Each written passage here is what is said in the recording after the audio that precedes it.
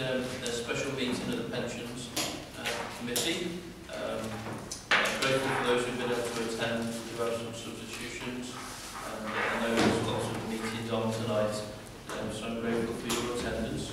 Uh, we do have some apologies from uh, Brian Kenny, Trina Johnson, um, who are not able to be here tonight. And uh, also, um, Kathy's not able to come, so we've got John as our substitution deputy. So uh, thank you for your attendance. So uh, we first of all, we'll start off about any declarations of interest. Yeah, my wife's uh, pension fund. Any other declarations of interest? Legal pension. Okay. Right, okay, so um, there's only one item uh, for tonight's uh, meeting. Uh, just for clarification though, just um, so you are aware, tonight's meeting is a substitution uh, for the suggestion that we um, report back to the audit and risk management. So if this is a formal meeting that we've held, otherwise, uh, subject to so uh, thank you for your attendance tonight. So we'll go straight into our agenda item, uh, which is um, the annual report and statement of accounts Pension Fund. Uh, it has been presented to us, so hopefully we've had plenty of opportunity to look at um, the report, but I'll just ask Peter to just guide us through, if you don't mind. Um, Yes, certainly, Chair. Although, or, or, in fact, if anyone just wants to ask questions, if anyone got any questions of Peter, have you? Okay. Happy to listen to Peter guide us through. No, absolutely. Well, I don't think there's a need for us to talk through this. We, we did. So, um, Pat, go ahead, please.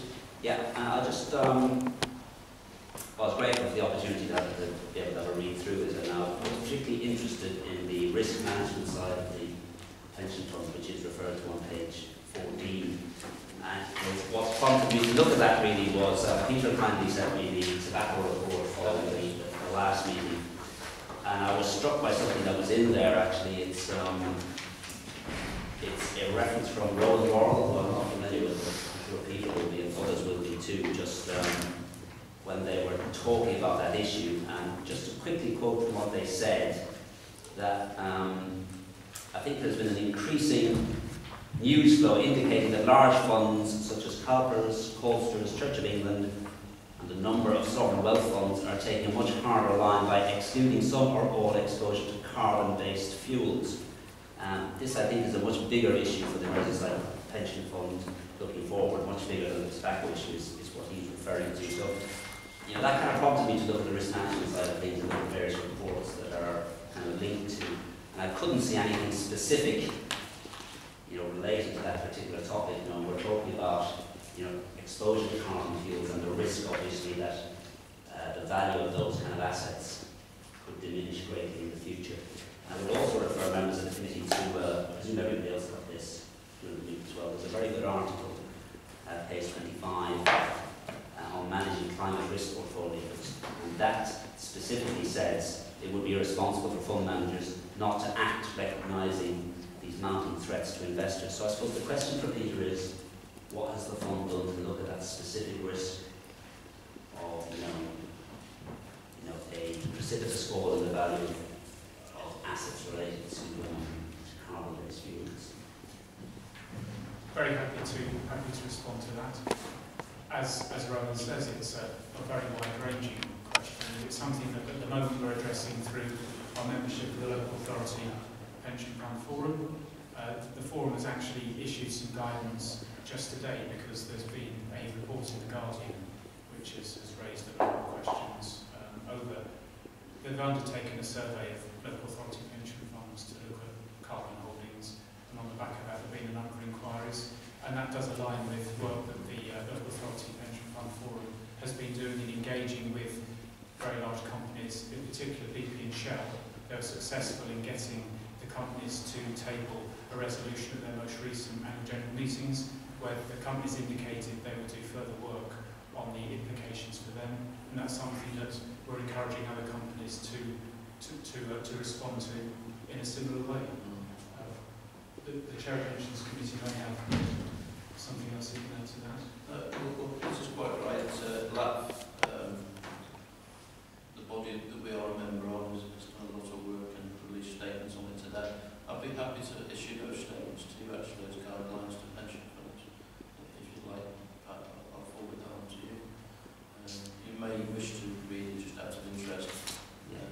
it might be a discussion topic we might want to discuss further at our task and finish group that we've of which you're uh. Yeah, yeah, obviously that's kind of looking at the tobacco issue issuance more kind of ethical.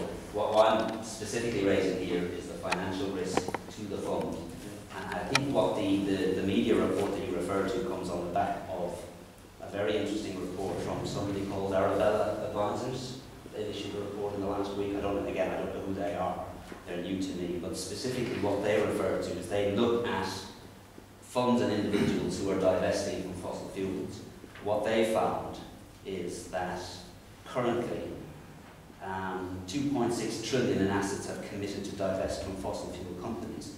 And the very apart from the size of that, the interesting thing there is that when they did it 12 months ago, they found 50 billion in assets. Similarly, so in one year they've identified, identified assets worth 2.6 trillion compared to 50 billion a year ago. And that's obviously a massive growth in funds that are either actively divesting or looking to divest from fossil fuels. So I suppose the, the risk I would point out to everybody is, you know, from the fund's point of view, is that obviously if you're behind the curve on something that, that becomes a very significant trend, then the members of the fund are obviously going to lose out.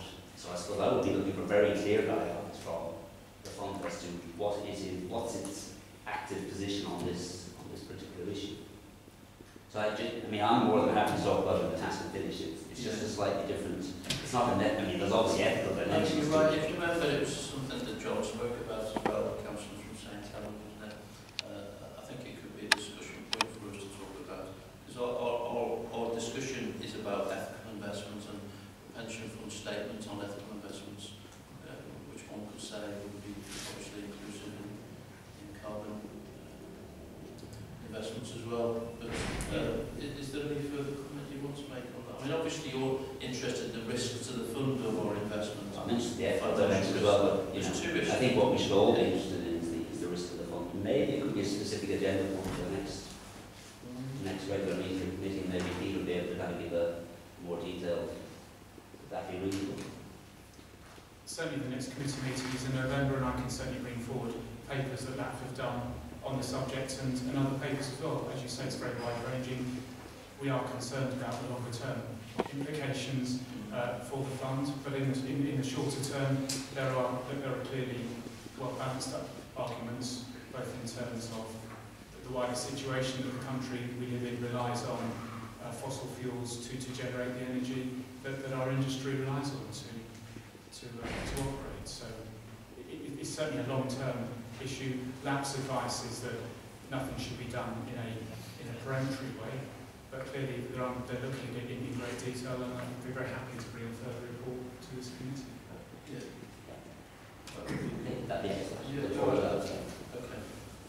I think, if I may, that would be quite helpful, because a lot of us have been bombarded with um, emails from uh, uh, residents in the wards where we live, and they've obviously been coached to write the emails because they're all extremely similar to each other, and they, and they request the very sympathetic towards.